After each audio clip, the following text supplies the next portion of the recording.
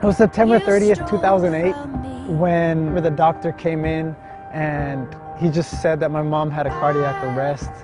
They told me uh, that I had to make a decision.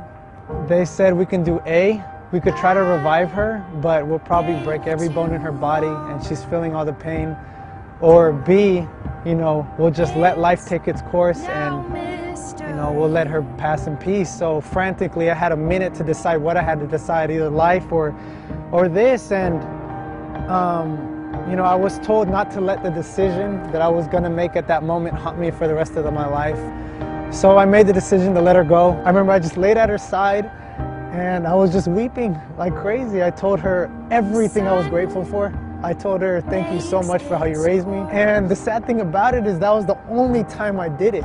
I never did it before. I never told my mom how much I loved her. I never told her, um, I never told her anything until that moment. Um, after that, I remember I kissed her and I said goodbye. I, uh, I went inside the waiting room.